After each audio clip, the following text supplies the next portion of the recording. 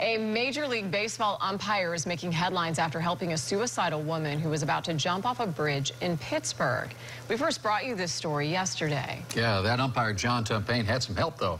A Tampa Bay Rays employee held on to the woman until more help showed up. News Channel 8's Janet Jones talked with a Rays employee about that rescue. The employee told me he was on his first road trip ever with the Rays, and it's one he'll never be able to forget. Michael Weinman is a storyteller for the Rays baseball team capture, you know, a lot of sometimes things will happen in the dugout. Uh, you know, with players kind of showing their personality. He was on his way to do an interview when he noticed the woman hanging from the wrong side of the bridge. They were talking about calling 911, so at one point I tried to, you know, thought I'd do that, and that was the moment when, you know, John looked over and, hey, can you please grab her ankles? Weinman jumped in immediately to help umpire John Tumpane, but it wasn't easy. The main thing that I remember her keep on saying was, just let me go, just let me go. I don't need to be here, just let me go. And you were thinking? Don't let go.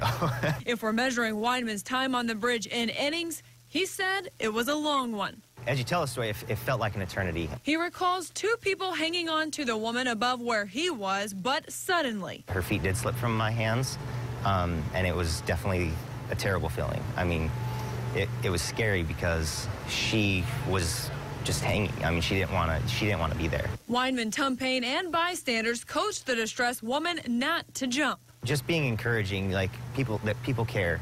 Um, there's people here. You know, you don't.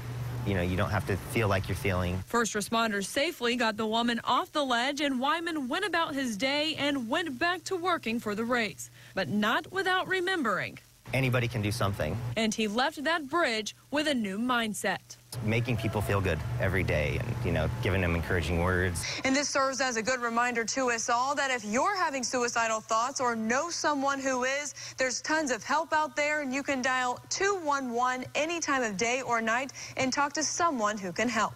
For News Channel 8, I'm Jana Jones.